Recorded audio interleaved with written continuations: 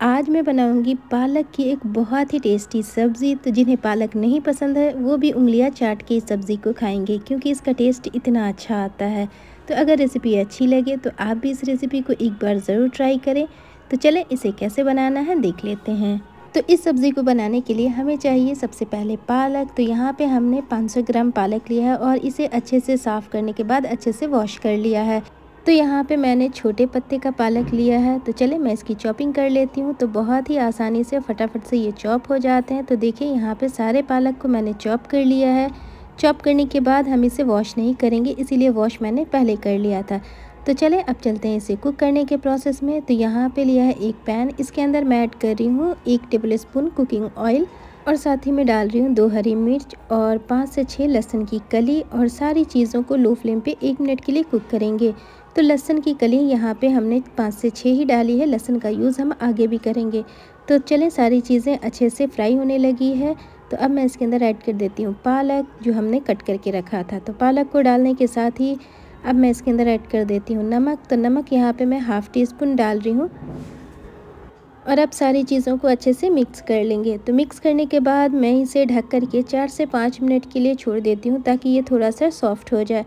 तो अब मैं इसे ढक देती हूँ और ढकने के बाद मैं इसे शिफ्ट कर देती हूँ दूसरे बर्नल पे क्योंकि मुझे मसाला तैयार करने के लिए थोड़ी सी प्रिपरेशन करनी है।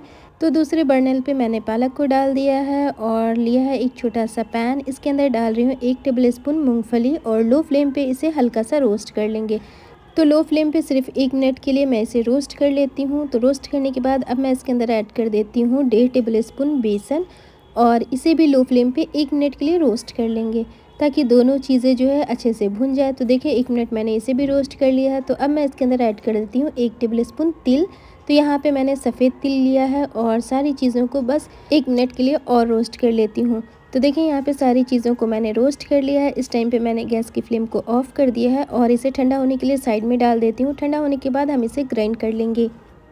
तो अब मैं इसे साइड में रख दे रही हूँ और साथ ही में लिया है एक और कढ़ाई और इसके अंदर मैं ऐड कर रही हूँ दो टेबल स्पून कुकिंग ऑयल और अब मैं इसके अंदर ऐड कर देती हूँ एक टीस्पून धनिया। तो यहाँ पे मैंने खड़ा धनिया लिया है। इसे हल्का सा इस तरह से रब करके उसके बाद इस ऑयल के अंदर डालेंगे तो इससे इसका फ्लेवर बहुत अच्छा आता है। और इसी पॉइंट पे डाल देती हूँ हाफ़ टी स्पून ज़ीरा और दोनों चीज़ों को हल्का सा क्रैकल होने देंगे। क्रैकल होने के बाद अब मैं इसके अंदर ऐड कर देती हूँ एक मीडियम साइज़ की प्याज जिसे हमने चॉप करके लिया है।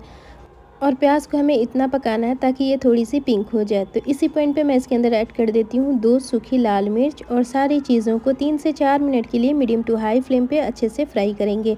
तो बहुत ज़्यादा प्याज के अंदर कलर नहीं चाहिए।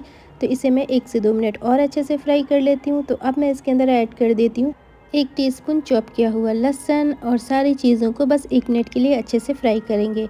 तो कंटिन्यू स्टर करते हुए इसे बस एक मिनट के लिए और अच्छे से फ्राई करना है। तो देखिए यहाँ पे एक मिनट मैंने इसे अच्छे से फ्राई कर लिया है। तो अब मैं इसके अंदर लास्ट में ऐड कर रही हूँ अदरक। तो अदरक को हमेशा लास्ट में ऐड कीजिएगा फ्रेंड्स नहीं तो अदरक जलने के बाद कड़वी हो जाती है। तो देखें, लहसन थोड़ा फ्राई हो गया है। तो अब मैं इसके अंदर अदरक ऐड कर देती हूँ। तो एक इंच के अदरक के टुकड़े को चॉप करके लिया था और इसे भी एक मिनट के लिए फ्राई कर लेंगे।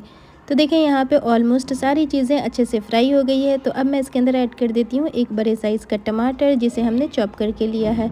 तो जैसे ही मैंने टमाटर डाला तो साथ ही मैं ऐड कर देती हूँ हाफ़ टी स्पून नमक। तो नमक हम केयरफुली डालेंगे, क्योंकि हमने नमक पालक में भी डाला था। और ढक करके इसे चार से पाँच मिनट के लिए कुक कर लिया है, ताकि टमाटर जो है वो थोड़ा सा सॉफ्ट हो जाए। तो ढक करके कुक करने के बाद इसे हल्का सा इस तरह से मैश कर देंगे, ताकि टमाटर जो है अच्छे से मिक्स हो जाए। तो देखें, यहाँ पे सारी चीज़ें डन हो गई है तो अब मैं इसके अंदर ऐड कर देती हूँ पाउडर्ड मसाले। तो हाफ़ टी स्पून मिर्ची का पाउडर ऐड कर देंगे और एक टी स्पून धनिया का पाउडर ऐड कर रही हूँ। साथ ही मैं क्वार्टर टी स्पून हल्दी का पाउडर ऐड कर देती हूँ और सारी चीज़ों को अच्छे से मिक्स कर लेंगे। तो अब इन सारे पाउडर्ड मसाले को दो से तीन मिनट के लिए लो फ्लेम पे अच्छे से भून लेंगे ताकि मसाले जो है वो जले नहीं और अच्छे से भून जाए। तो यहाँ पे दो से तीन मिनट मैंने मसालों को अच्छे से भून लिया है। तो अब मैं इसके अंदर ऐड कर देती हूँ मूंगफली, बेसन और तिल का पाउडर जो हमने स्टार्टिंग में रोस्ट करके रखा था। तो इसे भी डाल देंगे और इसे डालने के बाद दो से तीन मिनट इसे भी अच्छे से लो फ्लेम पे भून लेंगे। तो बहुत अच्छा फ्लेवर आता है अगर आप इसे डाल करके बनाएँगे तो। और आपकी जो सब्ज़ी बनेगी वो भी ठीक रहेगी। तो चले मैं इसे ढक करके दो से तीन मिनट के लिए कुक कर लेती हूँ। तो ये देखें फ्रेंड्स, मैंने इसे ढाई से तीन मिनट के लिए अच्छे से कुक कर लिया है। सारी चीज़ें ऑलमोस्ट कुक हो गई हैं तो चलें सारी चीज़ों को अच्छे से मिक्स कर लेते हैं। और मिक्स करने के बाद अब मैं इसके अंदर ऐड कर देती हूँ पानी। तो मैं यहाँ पे एक कप गर्म पानी डाल रही हूँ तो आप भी गर्म पानी ही डालिएगा ताकि आपका जो कुकिंग प्रोसेस है वो स्लो ना हो। तो यहाँ पे मैंने एक कप गर्म पानी डाल दिया है और सारी चीज़ों को अच्छे से मिक्स कर देंगे।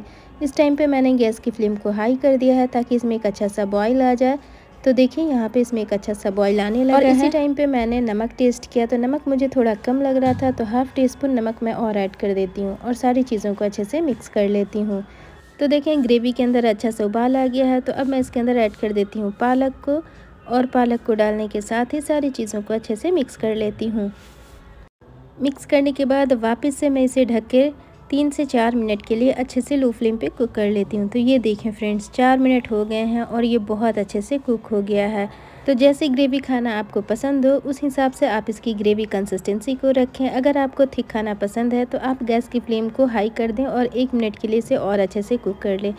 और अगर आपको पतली ग्रेवी पसंद है तो इस टाइम पे आप गैस की फ्लेम को ऑफ़ कर दें। तो मैंने इस टाइम पे गैस की फ्लेम को ऑफ़ कर दिया और सब्ज़ी हमारी सर्व होने के लिए तैयार है। लेकिन अगर आप मेहमानों के लिए बना रहे हैं तो इसके अंदर एक तड़का ज़रूर डालें।